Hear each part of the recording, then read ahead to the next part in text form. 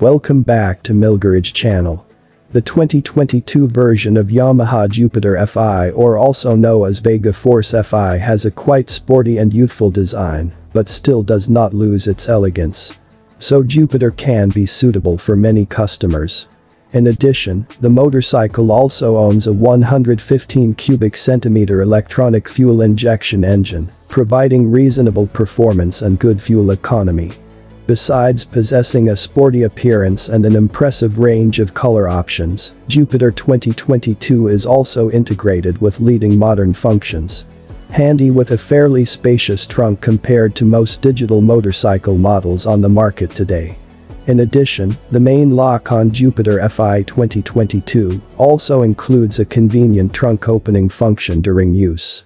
Yamaha Jupiter FI 2022 is equipped with a 114 cubic centimeter single-cylinder engine, air-cooled, electronic fuel injection.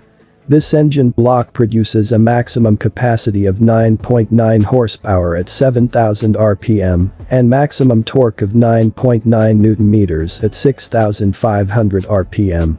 Outstanding fuel economy when the fuel consumption of this motorcycle is only 1.64 liters of gasoline per 100 kilometers. In general, with what is equipped, the Yamaha Jupiter FI 2022 really makes users happy with the equipment.